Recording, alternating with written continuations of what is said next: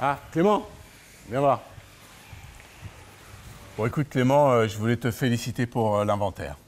Bah merci. Je voulais te féliciter pour plusieurs choses. D'abord sur le résultat. L'inventaire s'est fait en deux jours au lieu de trois habituellement.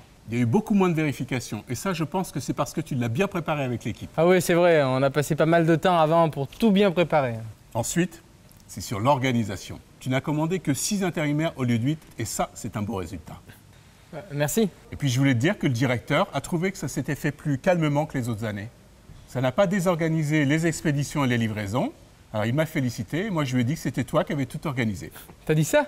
Ouais.